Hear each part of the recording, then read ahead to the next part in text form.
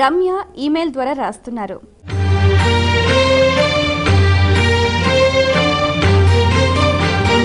సీత కంటే రాముడు చిన్నవాడని అంటారు. నిజమేనా? తెలియచేయగలరు అంటూ రాస్తున్నారు. ఆధునికులు అనేక రకాల సందేహాలను వెలిబుచ్చుతూ ఉంటారు. మనం తీర్చుతూ ఉండాలి. అలా ఎప్పుడూ కాదండి.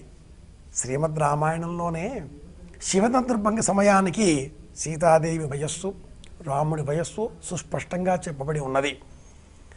శివ చంద్రభంగ కాల సమయానికి రామచంద్రమూర్తి వయస్సు పన్నెండు సంవత్సరాలు. సీతాదేవి వయస్సు ఆరు సంవత్సరాలు. వాళ్ళు వనవాసం వెళ్ళే సమయానికి కూడా వాళ్ళ వాళ్ళ వివాహ కాలాలు సశాస్త్రీయంగా సప్రమాణపూర్వకంగా వివరింపబడి ఉన్నాయి. ఆరేండ్ల తారతమ్యం ఇరువురికి ఉంది రామచంద్రమూర్తి కన్నా కూడా సీతాదేవి ఆరేళ్ళు చిన్న వయస్సులో. తిథుల ప్రకారంగా చూచో ఆధునికులుగా చూచే డేట్ల ప్రకారంగా చూచో మాట్లాడుకుంటూ ఉంటారు.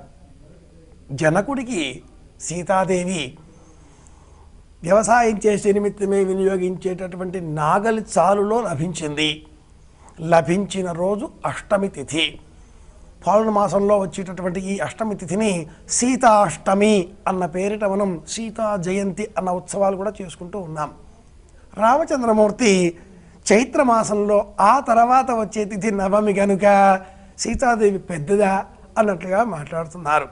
అది అవివేకులు మాట్లాడే విధానం కానీ శాస్త్రం తెలిసిన వాళ్ళు వాల్మీకి శ్రీమద్ రామాయణం చదువుకున్న వాళ్ళు అడిగే ప్రశ్న కాదు. లోకంలో ఉండే ఇతివృత్త లక్షణాలలో వచ్చే ప్రశ్నలకు సంబంధించింది అది మనం పరిగణనలోనికి తీసుకునే అవసరమే లేదు. రామచంద్రమూర్తి వయస్సులో పెద్దవాడు వివేకం తెలిసినవాడు సీతాదేవి కూడా వయస్సులో చిన్నది. సర్వము తెలిసింది. ఏం జరగబోతుందో కూడా వాళ్ళకు ముందుగానే తెలుసు అనే మనం విశ్వసిస్తాం. మన హిందూ ధర్మం ఇలా చెబుతుంది.